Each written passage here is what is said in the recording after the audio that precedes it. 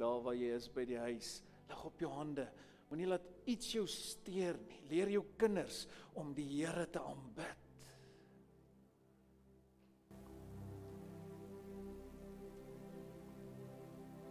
As we welcome you Holy Spirit, teach us your ways. Ooh, his anointing is like fire on me. Teach us to wait on you. Teach us to be sensitive to your voice. Yes, teach us to become true worshippers. Teach us more about your presence, for your presence is like heaven to us. Woo! It's like heaven here in this room. I welcome your presence. I welcome the anointing. Come on, everybody. Just come in agreement with me. Because God will always bless unity. Amen. God commands His blessing where there is unity. Uit jou hart uit sê Here, raak my aan, raak my boeties en sissies aan, raak almal wat kyk aan. O, welkom Heilige Gees, meer van u teenwoordigheid in ons dienste. Because anything can happen in his presence.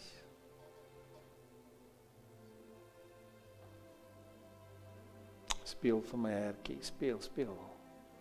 Lift the sound. Welkom by Heilige Gees Kerk. Word and Spirit. We are not ashamed of you, Holy Spirit. We are not ashamed of your presence.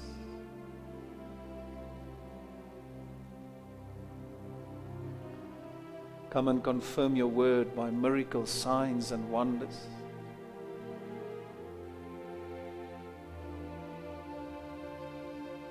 I want you to become more aware of His presence as you yield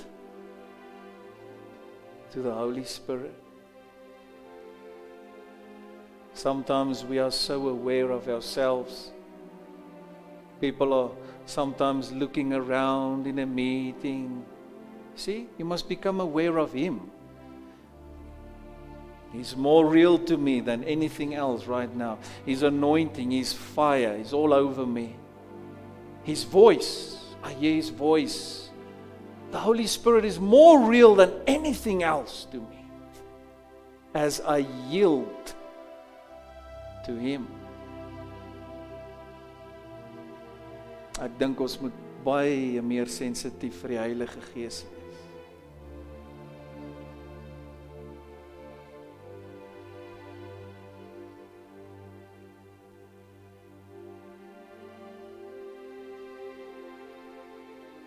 What does it mean to yield to the Holy Spirit?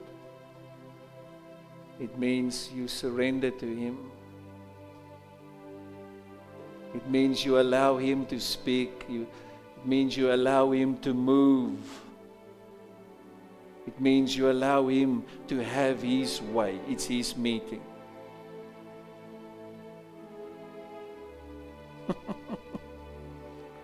I love you, Holy Spirit.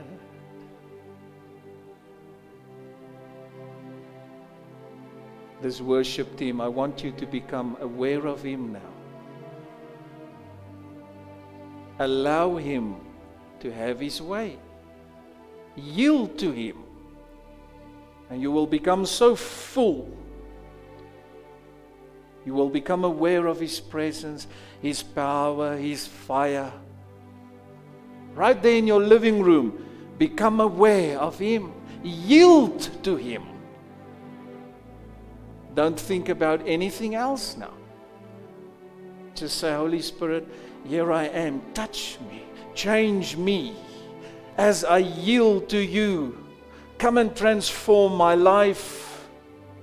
Come and renew my mind. Come and touch my heart. Touch my life, Holy Spirit. Fill me with your power. Fill me with your fire. Come on, everybody. Everybody now. Just become aware of Him.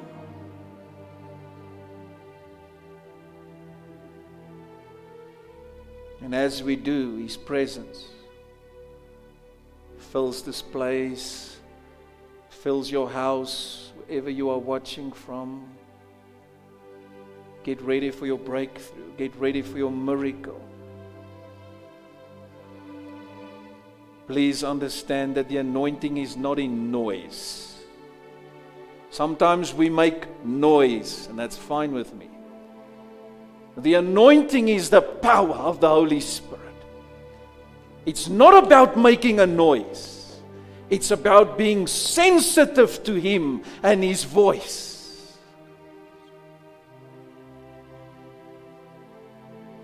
So ek vra vir hom, wat wil u doen, Here? Wat wil u sê? sien? Hy wil baie lewens aanraak. Mense, die Here baie nodig. Mense kyk van oral.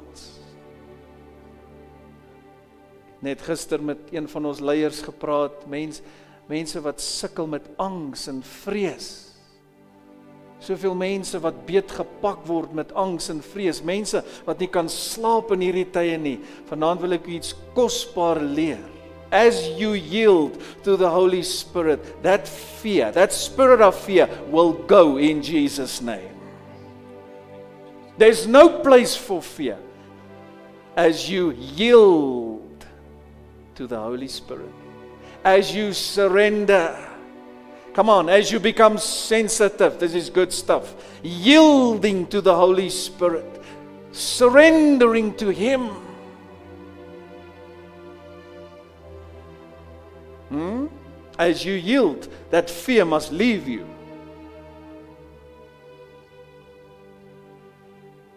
So, right now, in the name of the Lord Jesus Christ, I come against the spirit of fear. I bind it. Come on, come in agreement with me in the name of the Lord Jesus. And I speak to fear and I say, You have to leave now. Get out in the name of Jesus Christ. Leave the people of God. As we yield, can you say yield? In die Afrikaans soek ek 'n woord vir dit. Oorgee, maar as jy by 'n toegee teken stop, wat doen jy? Jy gee toe. Jy gee oor. Die ou wat eerste is, kry eerste kans om te ry. You yield You drive slower. You surrender. Come on, this is beautiful. Jy ry stadiger. Jy stop selfs as jy moet sodat die ou wat eerste gestop het kans kry. Jy's versigtig. You yield. As we yield to the Holy Spirit, we allow him to speak, to move, to have his way. Baie keer kry jy mense wat glad nie sensitief is vir die Heilige Gees nie en is dis so asof hulle die duif wegjaag. As 'n tyd vir hande klap en as 'n tyd vir joyful noise. Jy weet jou pastoor is vir dit, maar dan's daar tye soos hierdie. Lig weer jou hande dan beleef jy hom net. Kom aan. Kom aan, ek wil jou leer. You have to become aware of him. He wants to speak to you. Isn't this marvelous? He wants to fill you up with His presence. Come on. He wants to give you visions. Isn't this powerful? His gifts are available to you and to me. He wants to touch many people's lives right now, wherever they are.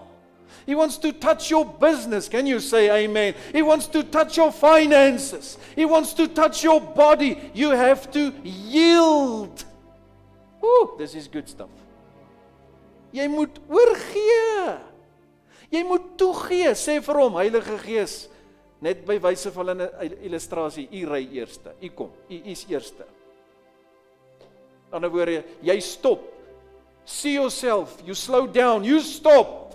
And you say, Holy Spirit, please, I'm yielding to you, to your voice, to your leading, to your guidance, wow, to your gifts. What are you saying tonight?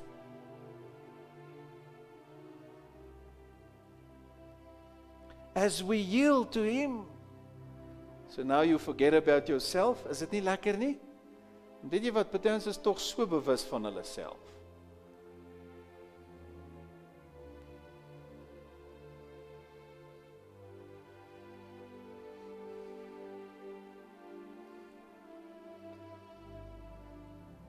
Say this with me. Say, Holy Spirit, teach me how to yield to you. Hmm. Have your way in my life. You see? I will slow down, in other words. I will stop, in fact. Have your way. You first. I yield to you. You first. Hmm. As you yield, check this out. As I'm speaking and teaching under the anointing, you will become aware of His voice. When you don't yield, you are not aware of His voice because you are busy doing your own thing.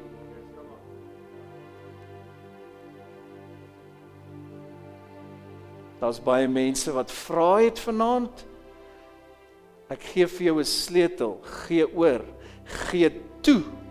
Né? Nee? As jy weer by 'n toegee teken stop, toegee teken stop, dan onthou jy hierdie woord. Gee toe aan die Heilige Gees. Surrender. Woo, hallelujah. One more time. Lift your hands, everybody. Say, I'm yielding to the Holy Spirit. If you can get this, your life will change. Before you make decisions in your business, at your workplace, come on, in your ministry, wherever you are, in your marriage, with your children, start yielding to the Holy Spirit. He wants to speak to you. Slow down and surrender to Him. He's my best friend. And He will always teach us how to lift up the name of our Lord Jesus Christ. He will always lead you to Jesus. He will always lead you to the Word of God. Can I get an amen? He will always lead you to prayer. He will always lead you to worship. He will always lead you into the presence of God. But We are so busy. Just be honest. Can I get a few honest people here? We are so busy sometimes with our own thing, your own thoughts. Wonder hoeveel eerlike mense kan ek kry, jy wat nou kyk ook. Hoe dwaal jou gedagtes nie baie So jy's besig met jou eie dinge en die Heilige Gees sê hier is ek. Ek wil met jou praat, maar jy gee my nie 'n kans nie. Ek wil ek wil my krag aan jou openbaar. Ek wil vir jou drome gee. Ek wil vir jou gesigte gee. Ek wil my gawes aan jou uitdeel.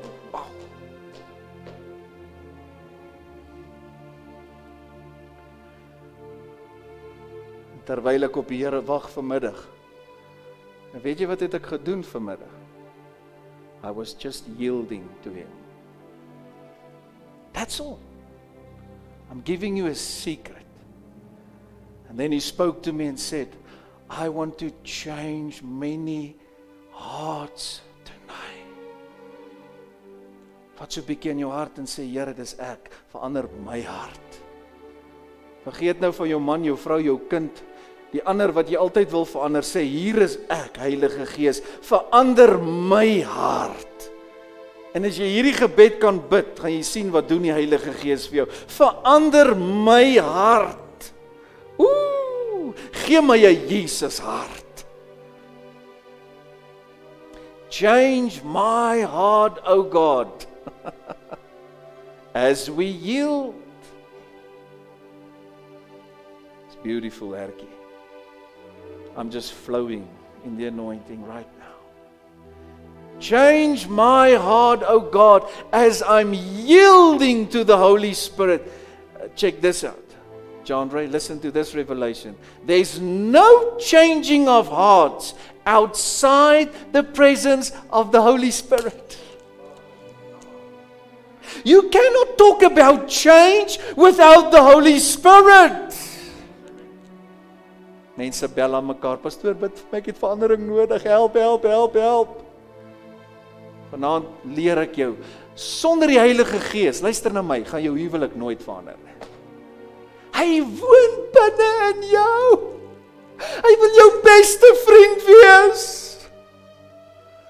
En nog steeds is daar kerke wat hom ignoreer asof hy 'n ietsie is. Hy's God. God the Holy Spirit, the third person in the Godhead. He was sent to do what? To help and teach the church. One more time. There's no change outside the presence of the Holy Spirit. Sit jou hand liggies op iemand se skouer en sê Here, verander haar hart, verander sy hart. Want is net die Heilige Gees wat dit kan doen. As jou kinders hier is, lê hande op hulle. En sê verander hulle harte. Weer die spreekwoord sê buig die boontjie terwyl hy jonk is.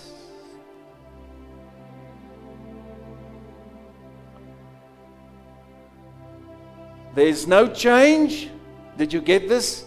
Outside the presence of the Holy Spirit.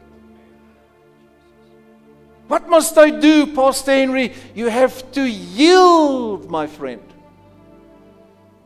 Let me speak to leaders and pastors. You have to yield to whom? To the Holy Spirit. He will teach you concerning the anointing. He works the power of God, He works the gifts.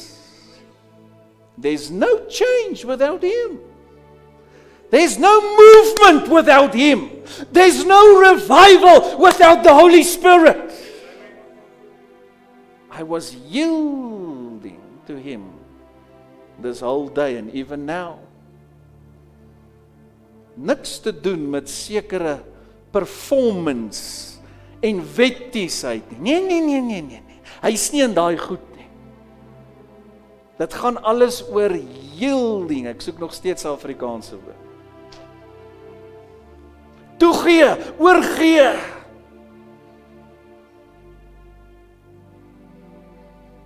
Gooi vir my 'n toegee teken daar op die bord. Soek een bietjie, sit hom op die bord.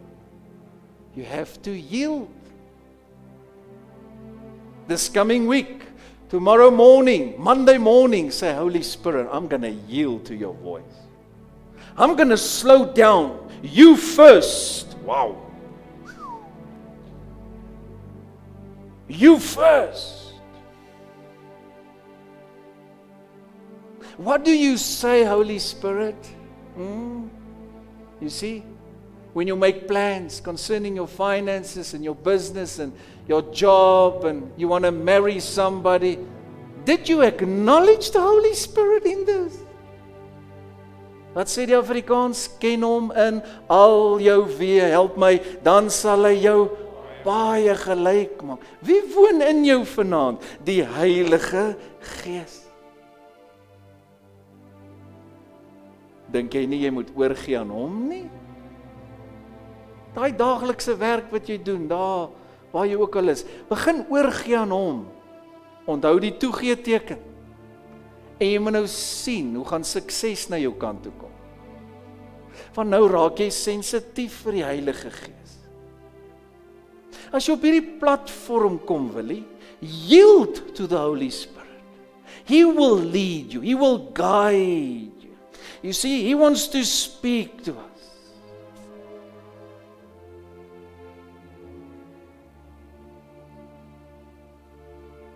Kan ek sien, geniet jy die teaching van die woord?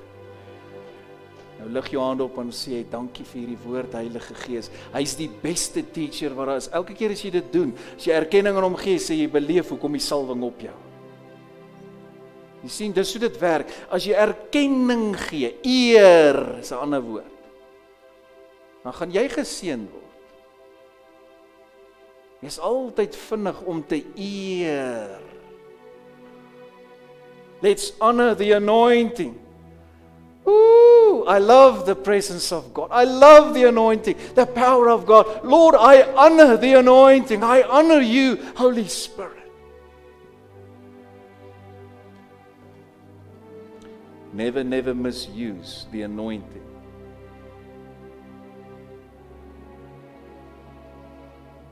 What should I do, Pastor Henry? I need a breakthrough. You should yield to the Holy Spirit. Slow down. Breek. Stop. Kyk vir my. En dan sê jy Heilige Gees, U eerste.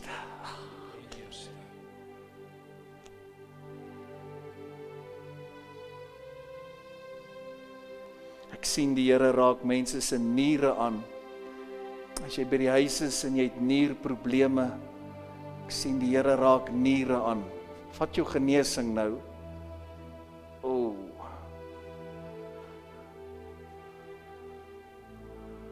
Dankie, Here kan sê. Ek sien die Here raak niere aan. Is hier enige iemand wat 'n nierprobleem het vanaand hier? Bekommerd oor jou niere.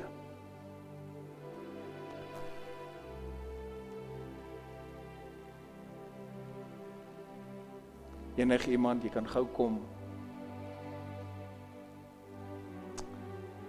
Ek kan nie nou sien nie, my ek is nie nou daar nie, maar komment as jy sukkel met jou niere.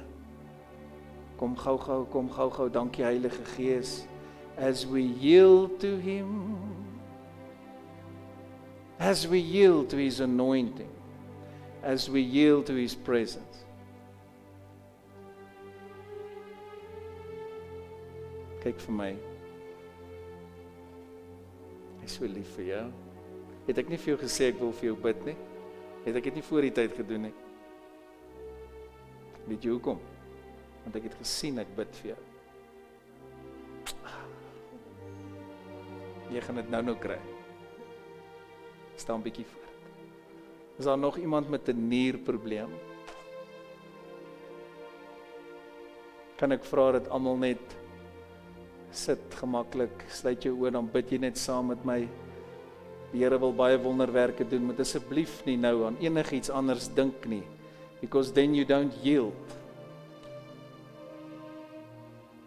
Elke man van God wat vloei in die krag van die Here het hierdie ding geleer om oor te gee.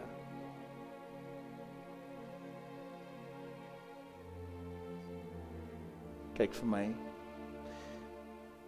Weet jy dat die Here se liefde groter as verwerping is? Want ek sien die Here kom en hy maak jou vry van verwerping. En dan gaan jou niere ook aangeraak word. Ag jou hande. Sê dankie Here. Dankie dat U my nou vrymaak. Is jy reg? In Jesus naam. Reg deur jou. Ontvang. Ontvang.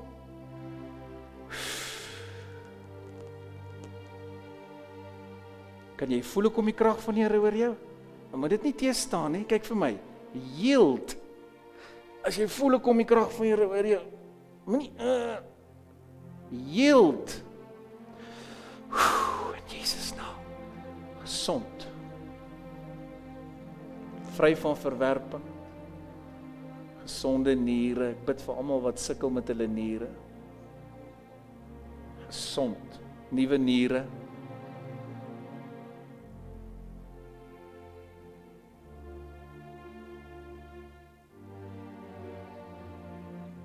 Ek hoor een nou sê uit 'n ervaring in die hemel gehad en toe sien hy hierdie geweldige groot stoor. En toe vat hy engel hom daarin. En hy vra wat gaan hier aan? Toe sê die engel vir hom dis alles spare part. vir nuwe ag kom maar nuwe niere, nuwe hart, 'n nuwe long, 'n nuwe oë, nuwe ore.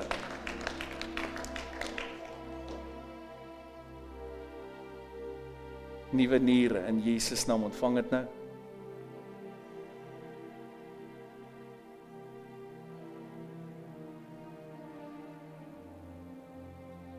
Hoeveel van julle vertrou die Here vir 'n genesing vanaand staan net op waar jy is? En dan gee jy oor saam met my. Kom aan. Ek het jou nou mooi geleer. Jy gaan jou wonderwerke makliker ontvang as jy hierdie teaching vat. Yield, yield, yield yield. Niemand hoef, hoef eers vir jou hande op te lê nie. Yield. Say thank you Lord for touching me.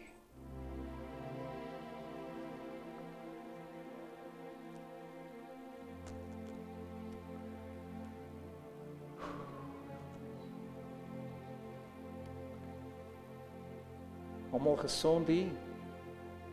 Niemand genesing nodig nie. Niemand nie.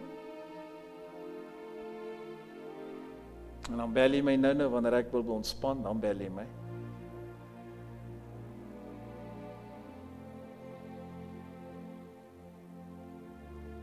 Is daar iemand op die foon wat vir my kan sê hoekom mense wat inkom, mense wat Here vertrou vir genesing? Kan ek 'n paar leiers kry op die foon asseblief? My help. Ons bedien baie baie mense. Trou die Here vir jou wonderwerk, jou genesing. Be healed in the name of Jesus. As you yield to him. As you yield to the anointing as you yield to the Holy Spirit. As jy 'n nuwe part nodig het, ontvang jou nuwe part. Ek wil hê jy moet gou saam met my verklaar, sê nuwe harte, kom aan, nuwe longe, nuwe niere. Kom aan, spreek dit uit, roep dit uit asseblief. Nuwe pankreas, nuwe oë. Kom aan, kom aan, kom aan, kom aan, nuwe oordromme. Kom aan, wag dit uit in geloof. Profeteer saam met my.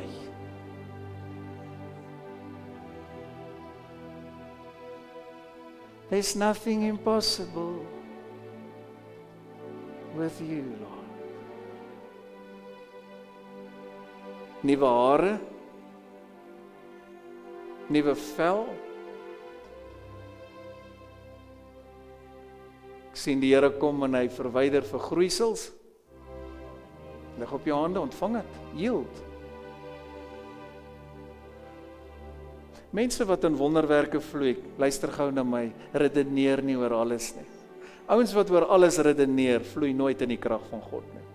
Want weet jy wat hulle probleem is hier? Here kan hulle nie vertrou met sy krag nie. As die Here vir my spring, dan sê ek hoe hoog?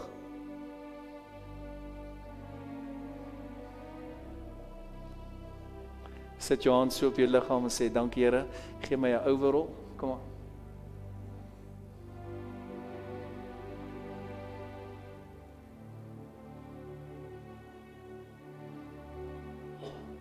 Wat doen ons met ons karre as ons hulle mechanics toe stuur? Wat doen ons? Kry 'n service, sê jy Andre, 'n diens, nuwe olie. Hoeveel van julle kort nuwe olie? Ek dink baie lig jou hand en sê Here, gee my nuwe olie. 'n Hele nuwe make-over.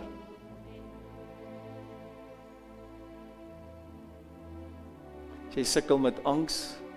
staan gou gou gou gou gou gou. Jy sukkel om te slaap in die aande. Vinnig. Waarvoor bid ons vir jou seun? Jou been. Nog steeds daai been. En ek het al vir jou gebid, is hy seer? Net 'n plaat. So ons moet braai daai plaat sommer uit, hier om sommer uithaal. Wat dink jy? Dink jy kan dit doen? Nee. So waarvoor moet ek bid dan? Net dat hy jou been aanraak. Want ek wou nou bid dat hy sommer die plaat uithaal. Hæ? Dink jy ook so? Hy sê ek dink nou ook so. Ons moet ons kinders leer oor geloof. Ek wil nou nie hieroor teach nie, maar ek gaan gou vir jou ietsie sê. Jou kind gaan een van twee goed hoor in die huis. Dit wat jy profeteer, met ander woorde lewe praat, die woord praat of die vrese wat jy losmaak in die huis. En hulle gaan net so praat soos jy. Ouers wat vrees heeltyd praat en slegte goed en oor die land. Hulle hoor alles. Nou nou praat hulle net so. Of jy's iemand wat op die woord staan en jy jy's iemand wat God vertrou en jy profeteer. Nou leer jy hulle jy maak daai goed los. Lig op jou hande. Kom ons vra hom dat hy daai been nou gesond maak. Is dit reg? Ons vra hom weer man. Dankie Here. Dankie Heilige Gees. Dankie Jesus dat U die groot geneesheer is. Ons bid vir hierdie pragtige seun, Here dat jy daai been sal gesond maak. Here, jy kan daai plaat uithaal en vir hom 'n splinter nuwe weefsels gee en alles wat daarmee saamgaan in die naam van Jesus. Ek glo U, ek vertrou U, Here. Dankie vir U krag in Jesus naam. Raak hom nou aan, Here. In Jesus naam. Kyk vir my. Kyk vir my. Sê dankie Jesus. Dankie Jesus. Dankie Jesus. Dankie Here. Dankie Here. Wat voel jy hier? Lekker. Hm? Dankie Here. In Jesus naam. So 'n mooi seentjie. Tel bietjie hy been op. Tel hom op man. Tel hom op. Wat kan jy nie doen nie? O. Maar jy moet gaan uitvind en dan dan doen jy wat jy nie kan doen nie. Stap so 'n bietjie rond dat ek sien. Tel hom op man. Ja. Stamp hom bietjie. Stamp hom. Klaak jou skoene hoor. Stap so 'n bietjie, stap so 'n bietjie. Gesond in Jesus naam. Amen. Wat sal jy vir my sê? As jy weer na die dokter toe gaan hulle neem plate en hulle sê die plate is weg. Gaan jy lag of gaan jy huil? Gaan jy lag? Want ek gaan slaap terwyl hulle dit doen.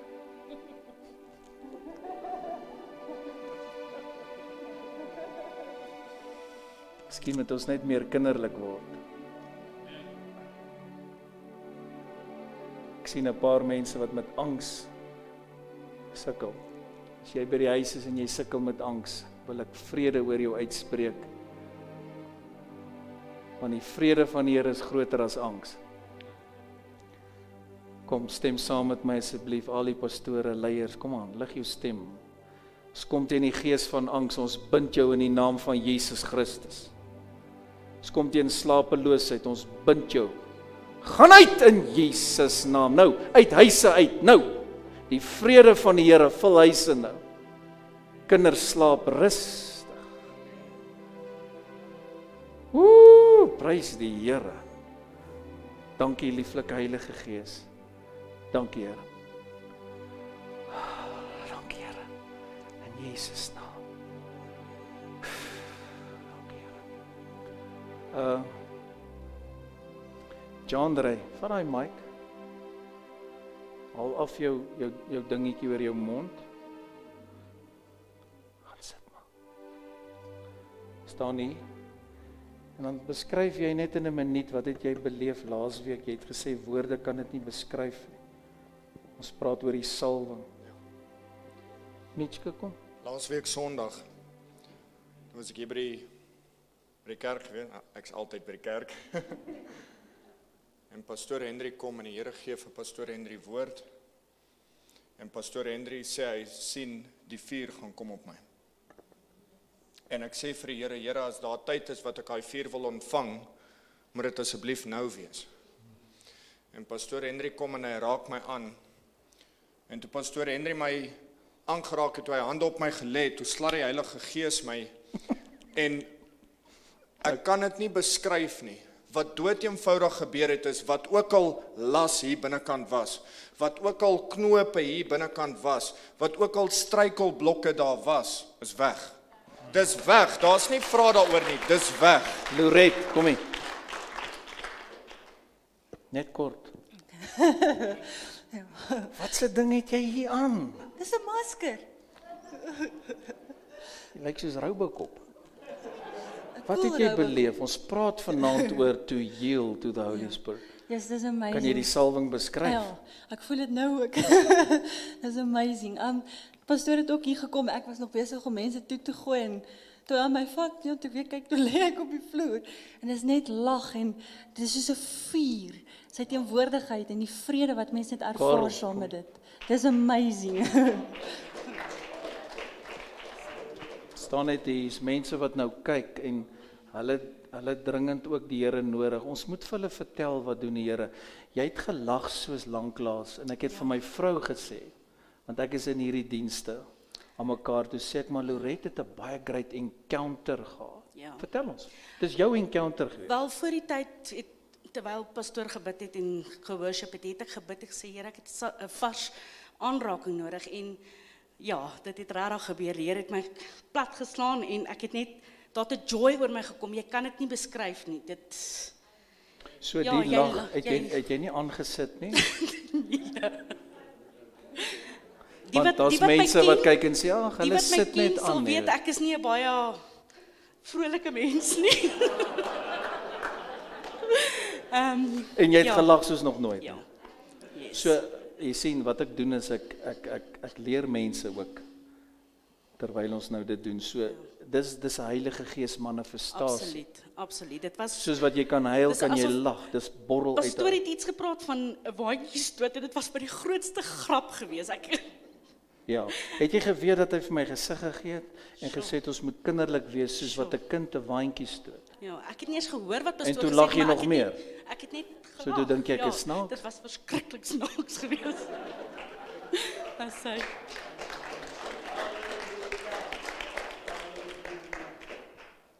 Kom aan, ek wil hê mense moet hoor hoe werk hierdie goeie. Dis 'n Heilige Gees diens. Dank die Here ons kan goddelike dienste hou. Wat 'n voorreg. Wat wat het jy beleef? Dis al wat ek wil weet. Pastor net dit, ek ek weet pastoor sê net dit, maar net om die storie vol te maak. Ehm um, almal wat ons ken en naby aan ons is, verstaan dat ons as Christene dit gaan nie altyd maklik nie. Ja. Ons almal gaan deur challenges en daai wat daar buite sit met die vals leen dat dit net goed gaan met Christene. Ek wil jou reg help. Ons challenge is groter as joune. En vir my was dit nodig vir 'n nuwe aanraking. Ehm um, soos wat ons elke dag nuwe hoop nodig het, was dit nodig vir 'n nuwe aanraking en ek het net gebid en gesê Here, ek wil net kom oorgee en net sê Here, ek wil net net weer net weer die belofte, die die die deel die ek, ek weet eintlik nie wat om te sê nie, maar en en toe pastoor my aanraak is dit soos 'n net 'n net 'n net 'n herinnering dat hy is in my en deel van my. So wat ek wil vir jou sê wat hier sit wat dink dis nie waar nie. Ek wil jou reg help. Dis baie waar. Daai lag en daai opgewondenheid en daai gegil en whatever daarmee saamgaan kom uit die hart uit. Wow. Kom nie uit jou kop uit nie. Lig jou hande. En dan gee oor aan hom. Ek glo dat vanaand absoluut lewensveranderend gaan wees vir jou en jou familie. Want as jy hierdie teaching gaan vat, gaan jou lewe verander. Luister mooi wat ek jou vanaand leer. The anointing and the presence of God and all these blessings is not in legalism, in your performance. Hoe hard jy skree. It's all about your yielding to the Holy Spirit. So wat doen ek elke dag en wat doen ek voor elke diens en besonder as jy wil weet, I yield to him.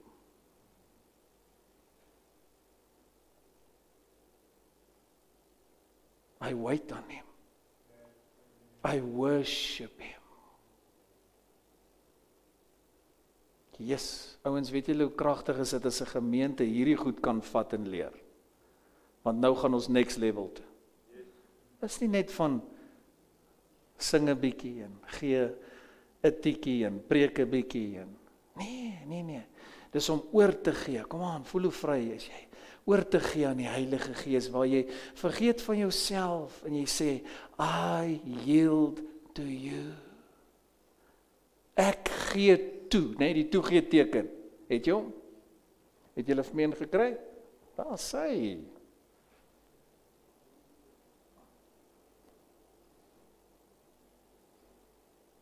Die toegee teken gaan vir jou 'n wonderlike betekenis hê soos nog nooit vantevore. So vir al die jong mense wat dalk wonder, daai beteken nie vinnige ry nie. Dit beteken stadige ry. En kyk. Wees sensitief vir die ander mense op die pad. Die ou wat voor jou gestop het, hy kry eerste kans om te ry. In konteks met finansie woord, die Heilige Gees moet altyd eerste kans kry. Kom ons vat 'n oomblik en dan bid ons vir ons land. En ek gaan net vir jou twee goeie sê oor die land wat wat die Here met my praat net in die laaste ek praat van in die laaste 24 uur. Die een ding is want die kerk moet ernstig bid teen 'n burgeroorlog.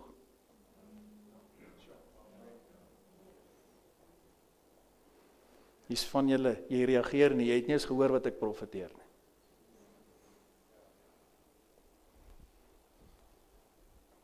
Is dit wat die Here wil hê? Nee. Dis wat Satan wil hê. Hoor die woord van die Here deur my. Ek sien mense stuur allerlei goed aan en hulle dink is oulik. Hulle hou hulle braaf. Moenie daar gaan nie. Dis nie jou plek nie. Net die Here kan ons help. Jy sien ek kom onder die salwing en ek sê vir jou wat die Here sê. Jy moenie vleeslik raak nie, dan gaan jy die stryd verloor. Ons het nou manne van God nodig wat geestelik is. Wat by die Here kan hoor. Die Here sê vir my sê vir die kerk bid teen 'n burgeroorlog. En die tweede ding wat ek baie al geprofeteer het, wat jou opgewonde moet maak, jy moet spring en juig en dis juis in donker en in moeilike tye wanneer revival kom, soos nou. Revival. Come on, shout it out. Revival. This is on God's agenda. Even now, this assembly, we are in revival. As we yield to Him. Herlewing is juis vir donker tye. Is jy almal by my? Is juis vir uitdagende tye. Reg deur die Bybel. As jy die oor revivals lees, dan sien jy is in moeilike tye. Ek meen ons was nog nooit in moeilike tye soos nou nie. En almal het 'n opinie oor die regering en ons is almal moeg vir al die slegte goed. Ek wil net hê jy moet saam met my lewe praat. Nog eenmal sê herlewing vir Suid-Afrika. Dit is dit is die Here se plan. Come on. Shout it out. Revival. Come on, comment it. Revival. This is the only answer for this country. Comment dat ek kan sien jy reageer. Revival. Wanneer jy bid, bid vir die redding van siele, bid vir die kerk, bid vir revival, bid vir Suid-Afrika. Prys die Here. Die Here gaan ons help. Hy het ons gehelp tot waar ons is vanaand. Mense vra, wat gaan van ons kinders word? Kry baie mense wat so praat. Wat se werk gaan jou kind kry eendag? Want jy weet as jy nou kyk in die natuurlike hoe dinge nou gaan en en en Ek wil vanaand vir jou sê, moenie daar gaan nie. Sê net die Here is in beheer. Ek vertrou die Here. Ons verstaan nie alles nie, maar ons weet die Here is in beheer. Kan jy amen sê? Die Here gaan vir ons kinders 'n weg maak. Kom aan, die Here gaan 'n weg maak vir ons in hierdie mooi land. As jy gaan begin redeneer, gaan jy jouself moeg maak. Want weet jy wat gebeur? Nou neem jy vlees oor. Wat gebeur as die vlees oorneem dan dan word jy uitgeput want jy's kwaad. Ek meen vir die president en die regering en al die gemors wat aangaan in die land. Sien nou begin die vlees oorneem. En nou wil jy beklei. Nou wil jy die kommandos oproep. Ek wil vanaand vir die kerk sê as 'n stem luister, net die Here kan ons help. En weet jy wat? Hy gaan ons help. Sê vir jou langs jou, die Here gaan jou help. Kom aan, die Here gaan jou help. Hoeveel van julle glo saam met my dat die Here jou kinders gaan help? Julle glo dit. As jy oupa en ouma's, hoeveel van julle bid vir ou klein babietjies van jou? Jy kan nie dood praat nie man. Luister ook profeteer. Dis nou tyd om lewe te praat, om revival te praat, om restaurasie te praat, om lewe te praat. Sê vir my, jy wat 'n ouer is, gaan jy mense in jou huis toelaat? Ooh, kabo satala babakai. Wat begin doodpraat oor die toekoms van ons kinders? As jy 'n oupa en 'n ouma sê vir my, gaan jy mense naby jou kleinkinders toelaat wat doodpraat? Ek weet nie van jou nie, maar ek gaan dit nie toelaat. Is dit nie nou jy se tyd om oor te gee aan die Heilige Gees nie? Het jy die aand geniet? Yielding to the Holy Spirit. Slow down. Slow down and wait upon him. Voor jy iets sê, voor jy iets doen, slow down and wait. And ask him, what do you say, Holy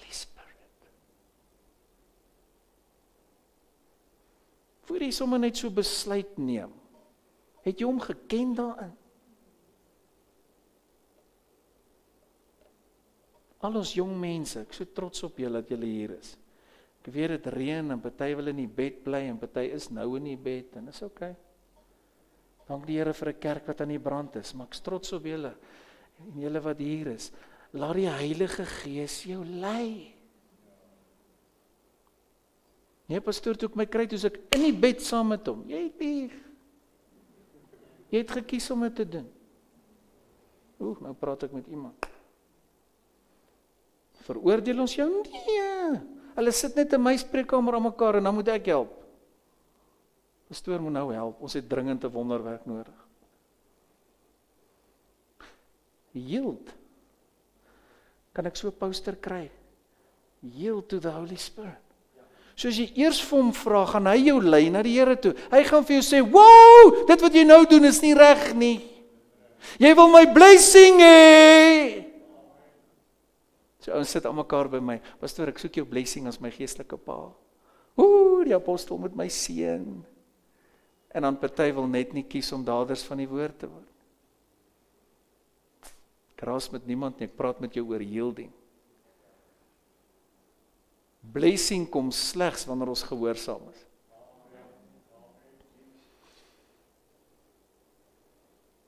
Mag die Here jou seën op 'n manier hierdie week wat jy nie verwag het nie.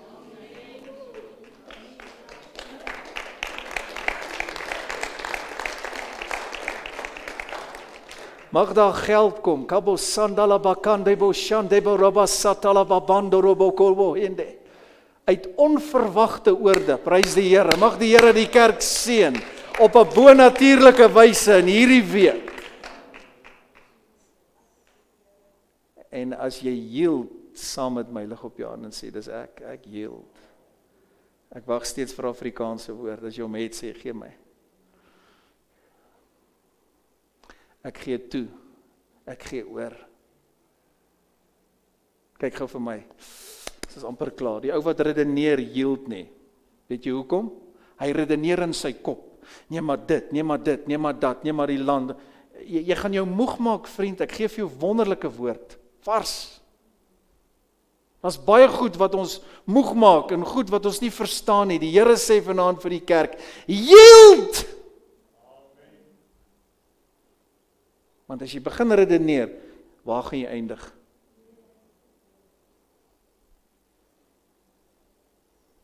Yield. Sê vir jou langs, hy preek vir jou yield, yield, yield.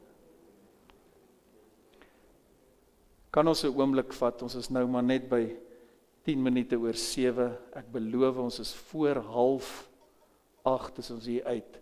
Ek wil jou vra, daar by die huis en almal hier in die kerk gebou. Kom ons kniel net vir 5 minute en ons bid ons vir Suid-Afrika net daar waar jy is.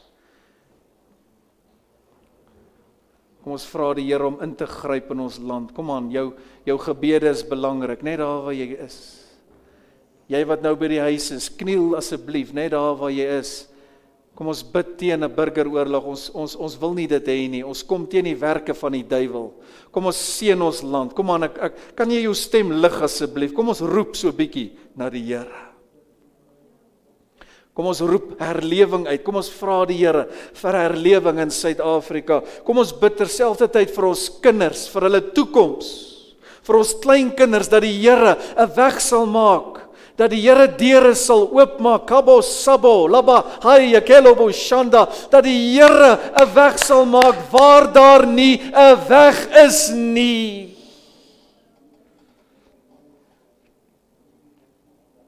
Dis heerlik nou hier by die kerk. Dankie dat jy saam bid.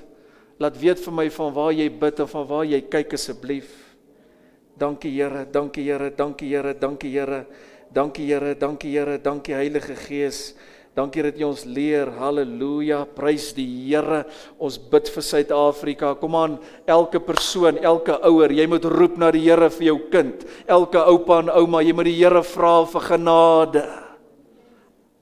Net hy en hy alleen kan ons help. Dis 'n goeie plek waar ons is vanaand, want ons is afhanklik van die Here. As we humble ourselves before him, he will come and do mighty things for us. Amen. As we humble ourselves before the living God. We bow down before you, Lord Jesus. We yield to your plan, to your word, to your precious Holy Spirit. We yield to you, Lord. We are seeking your face. We are seeking your will. Heavenly Father, concerning our nation, have mercy on this nation, O Lord. Wat 'n heerlike aand in God se teenwoordigheid. Ons bid vir die redding van kosbare siele. Ons bid dat die Here lewens verander. Die Here het vir my vanmiddag gesê ek wil harte verander. Wees jy eerlik vanaand en sê Heilige Gees, verander my hart.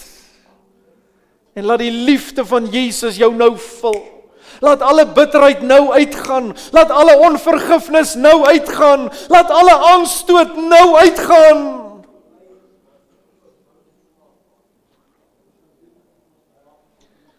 Dankie Here.